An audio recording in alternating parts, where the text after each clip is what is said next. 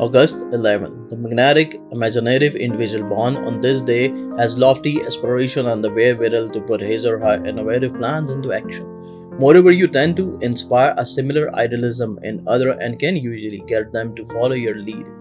You are passionate, strong-willed, tenacious, and determined. Thanks to your imagining staying power, once you get started on something, you are pretty much unstoppable inherently romantic and idealistic. You enjoy dramatizing and mythologizing your existence. By surrounding yourself with drama and excitement, you seem larger than life. You yearn to bring light to the world by leading people towards a better way of life. The powerful combination of solar Leo and the number 2 vibration adds a touch of humanity to your characteristic line in confidence and pride.